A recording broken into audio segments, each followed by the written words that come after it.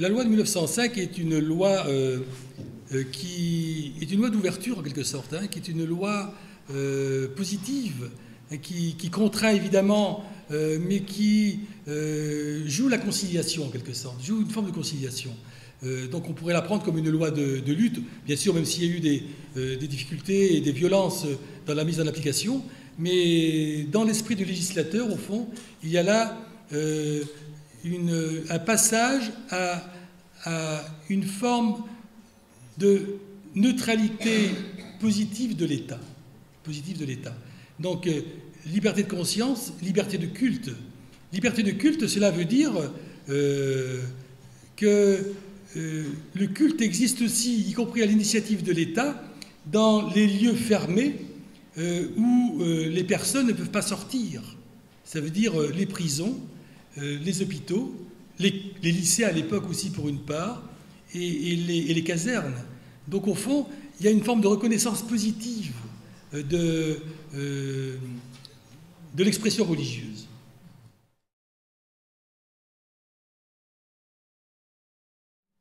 Oui, bien sûr, oui.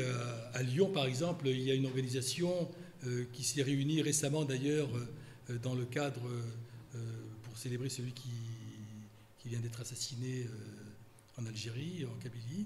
Euh, il y a aussi Marseille Espérance, par exemple, qui avait été initié il y a déjà très longtemps par euh, l'ancien maire socialiste, M. Vigourou, et qui a été repris par le maire UMP actuel pour précisément, dans une situation qui est très marquée par la présence de l'islam dans la région de Marseille, on, considère qu'il y a à peu près 300, 350 000 musulmans.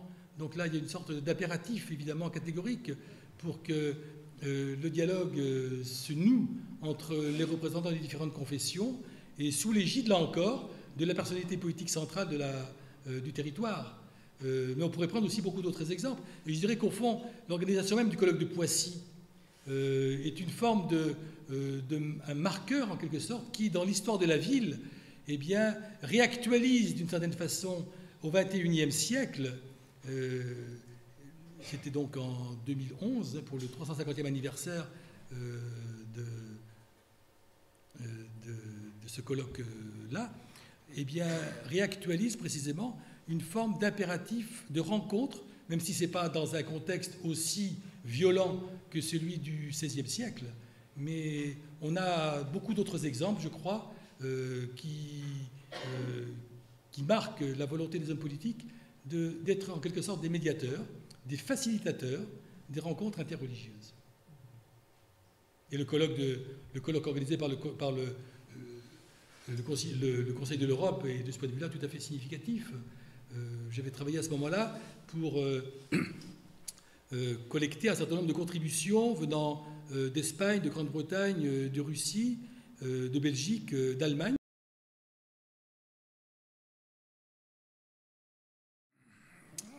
il y a une stratégie derrière, évidemment. Hein. C'est-à-dire que Mitterrand ne pouvait pas ne pas inscrire dans son programme des propositions une sorte de revanche historique de la gauche. Voilà, donc il fallait en quelque sorte solder les comptes. Voilà, et donc euh, il y a eu là euh, une opération qui était une sorte de figure imposée au candidat Mitterrand en 81. Et donc il, a, nommé là quelqu'un qui était un, modéré précisément, qui pouvait avoir euh, l'oreille, il l'a eu d'ailleurs, euh, le projet était presque abouti, presque abouti. Ah, il a échoué sur un certain nombre de points, euh, notamment sur la fonctionnalisation, le projet de fonctionnalisation des maîtres, etc.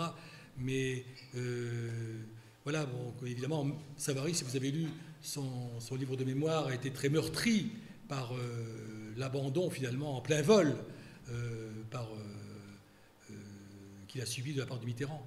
Mais voilà, en quelque sorte, les deux étaient en quelque sorte obligatoires dans la pensée de Mitterrand. C'est-à-dire à la fois lancer le projet et, trouver la faille qui conduise à l'abandonner. Voilà. C'est assez machiavélique. Très machiavélique. Mais bon.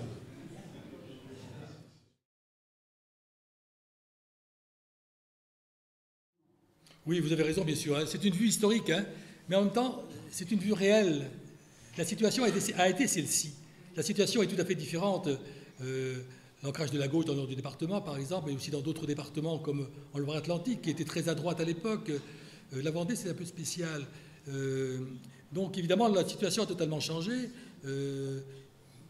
mais ce que j'ai voulu marquer là, c'était l'ancrage d'une mémoire longue dans les comportements religieux et politiques. Euh, Est-ce que vous dites sur le plan politique Évidemment, sur le plan religieux, ça serait pareil. Je pense qu'effectivement, la pratique religieuse, n'est pas tout à fait celle-ci dans le nord du département. Euh, je dirais que dans le sud, elle n'a pas beaucoup baissé parce qu'elle est déjà très faible. Euh, mais euh, je crois qu'il y a une certaine homogénéisation, probablement.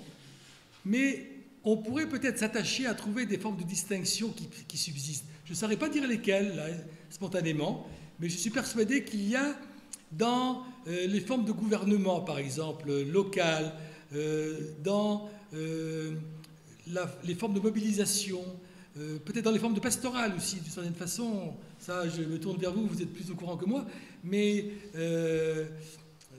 des, différenciations qui, seraient encore un peu marquées mais sans doute un peu atténuée. Il faudrait la chercher plutôt dans des, dans des éléments peut-être euh, un peu plus implicites que manifestes. Je sais pas, peut-être que vous avez des idées d'ailleurs euh, sur ce point-là, mais. Euh,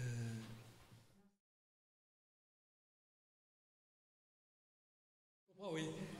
Mais oui, c'est vrai, il y, a, cet élément-là. Il y a aussi la question des paysages qui sont des, paysages clos, n'est-ce pas, fermés, avec euh, un système quand même qui était aussi un système seigneurial qui a duré très longtemps avec le métayage par exemple. Donc avec une hiérarchie sociale qui a maintenu finalement un peu, je dirais pas dans la dépendance, mais dans une certaine subordination un peu des populations. J'ai un peu l'expérience de ce territoire-là, en tout cas dans sa partie vendéenne, mais tout ça, ça se touche bien sûr. Hein. et oui, je pense que il y a aussi la dureté de l'histoire. Hein. Je pense qu'effectivement, tout à l'heure, je faisais allusion aux guerres de Vendée. Il y a quelque chose là qui est.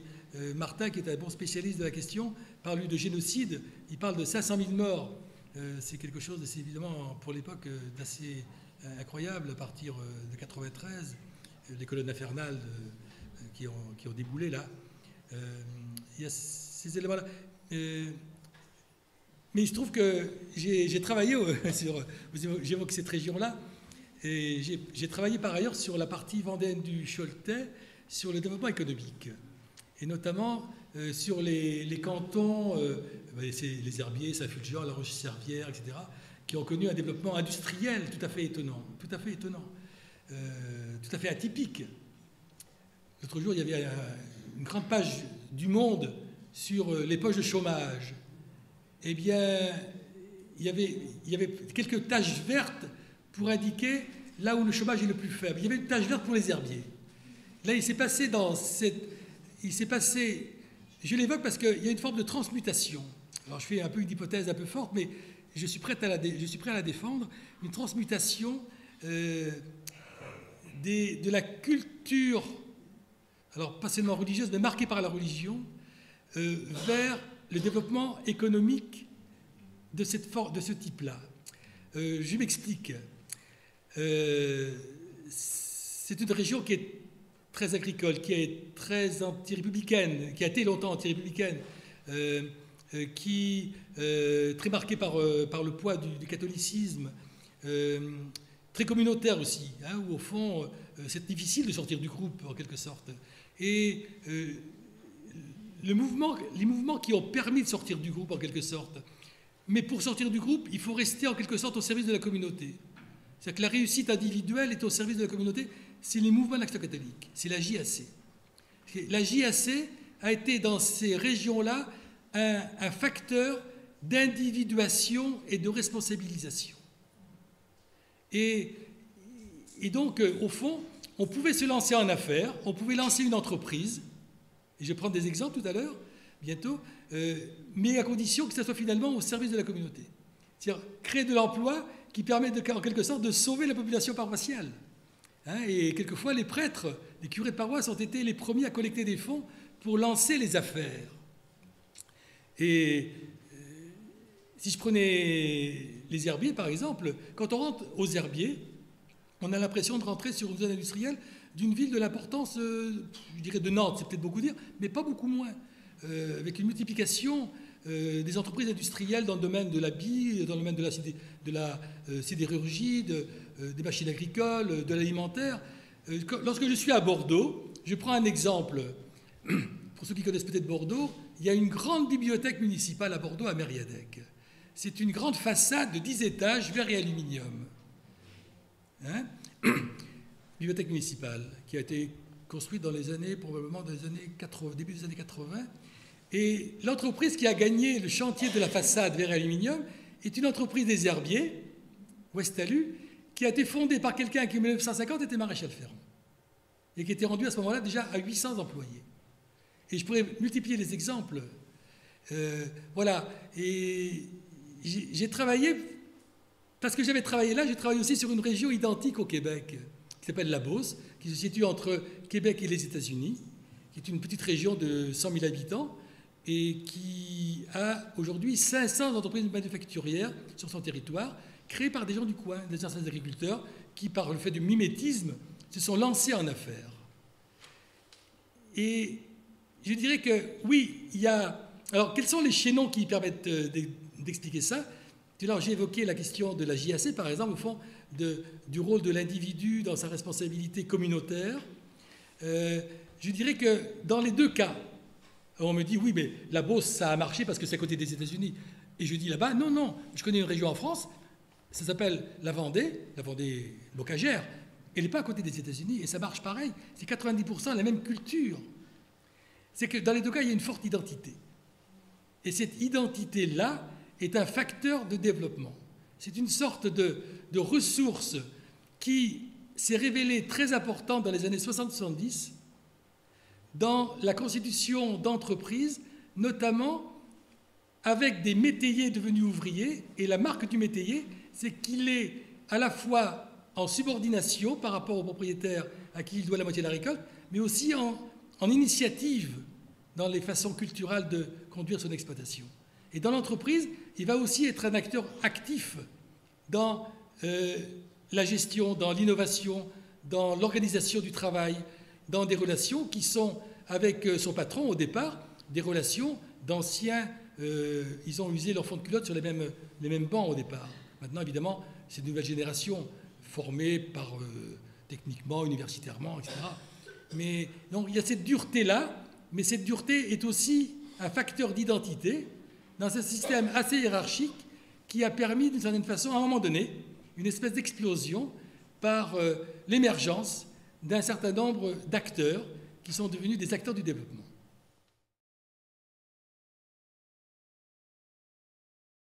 Oui, tu as raison, il y a, des, éléments qui sont... Euh, il y a des formes d'instrumentalisation du religieux, disons. Il y a des formes d'instrumentalisation du religieux et qui, évidemment, euh, dévoie plutôt euh, les, ambitions de dialogue, euh, de, collaboration, de partenariat.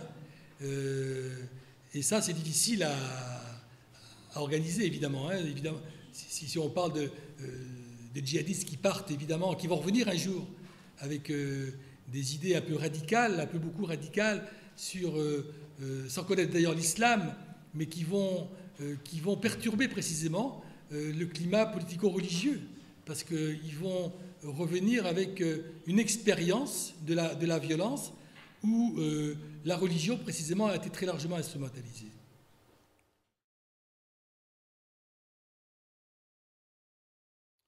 Difficile. Difficile. Je pense qu'on est dans une situation politique française qui ne s'y prête pas du tout. Je parle en tout cas au niveau national. Au niveau local, c'est un peu différent. Ça dépend des lieux, bien sûr.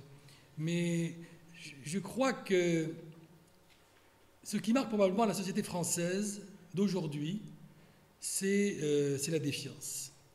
C'est l'absence de confiance. Défiance et absence de confiance. Que ce soit euh, au sein même des formations politiques, hein, regardez ce qui se passe un peu euh, à gauche et à droite, et ça, ça donne le ton je dirais, à beaucoup d'éléments. c'est une sorte de, de, modèle, il y a un effet miroir qui joue là. Et je, crois que les choses se font par l'expérience personnelle, très sincèrement. Je ne pense pas que ce soit par des discours qu'on puisse euh, dicter la bonne conduite.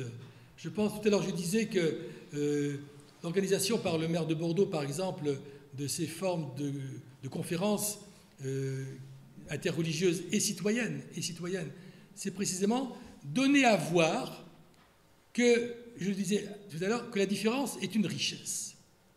Or, à trop insister sur l'identité et sur la fermeture, finalement, on clôt très vite le débat, parce qu'on n'y retrouve pas ses billes apparemment. Et, je crois que, que, c'est en multipliant, au fond, euh, les, euh, les, scènes de débat, euh, les, les agoras, qu'on peut permettre l'expression d'une différence apaisée.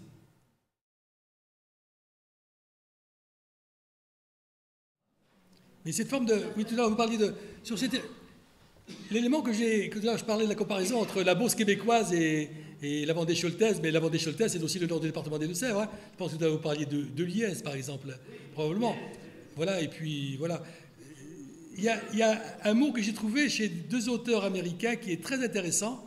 Euh, c'est une, contraction de coopération et de compétition, c'est la coopétition. C'est-à-dire que sur ces deux territoires-là, ce qui est très marquant précisément, c'est qu'on est en compétition, mais on est aussi en coopération. Et l'idée, c'est que c'est un jeu de gagnant-gagnant. Voilà, c'est ça. C'est qu'en fait, on peut faire grossir le gâteau en quelque sorte si on travaille ensemble et que la coopération permet une meilleure compétition en quelque sorte. Euh, sur le territoire, on est en coopération, à l'extérieur, on est en compétition, mais on va aider l'entreprise qui est en difficulté parce qu'on a besoin d'elle pour fortifier le territoire. Je prends un autre exemple, en sortant un petit peu de, la région ici, pour arriver en Bretagne.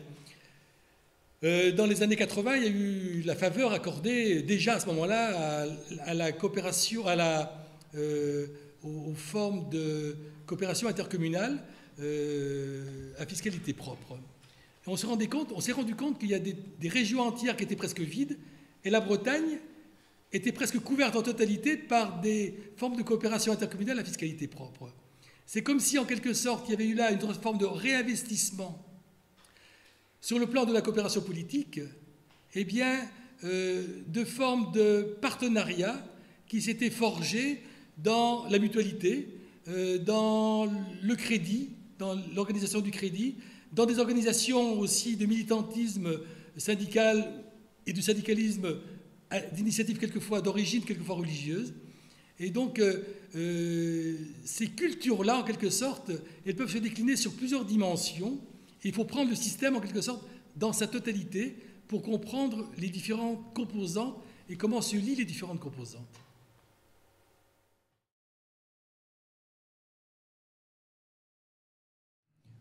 Le mot qui me vient à l'esprit, c'est les valeurs. C'est qu'au fond, euh, les valeurs religieuses se, euh, transmuent en quelque sorte dans d'autres vecteurs de la vie sociale. Il n'y a pas de il y une personne, on ne peut pas la diviser en autant de segments, tous sont évidemment liés les uns aux autres. Et je pense que euh, la propension à, penser d'une certaine façon euh, dans le domaine de la foi, par exemple, là je, parle de l'extérieur, eh bien, ne peut, pas avoir ne pas avoir d'effet sur la façon dont elle va nouer des relations, y compris dans l'entreprise, y compris dans son environnement, y compris dans des initiatives, euh, si elle a un, rôle politique, par exemple, dans une municipalité ou dans un conseil général.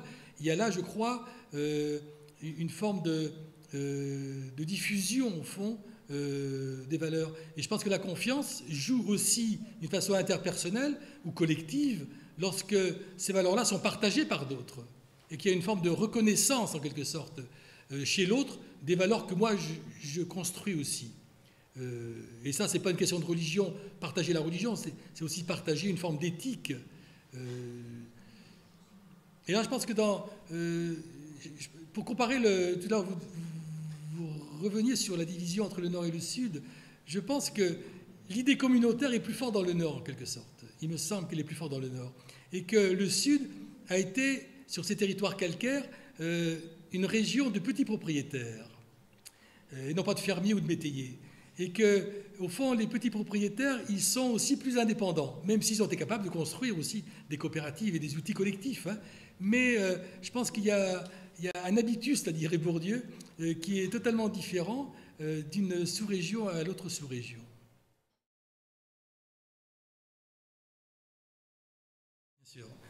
je suis bien d'accord avec vous. Oui, parce qu'en fait, réintégrer les dieux, je ne l'ai pas évoqué, mais euh, c'est à double tranchant.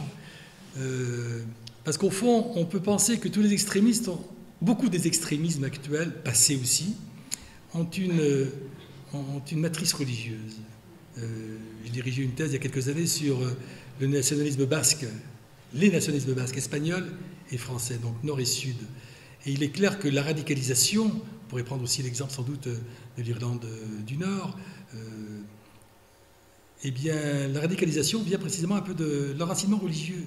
Parce que, et, là, je dirais qu'il faudrait faire la distinction entre les religions monothéistes et les religions polythéistes.